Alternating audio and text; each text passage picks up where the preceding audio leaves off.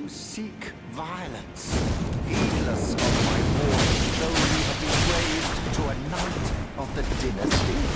I am hate to the very depths of my being. I'll ensure you regret this. Enjoy your miserable death.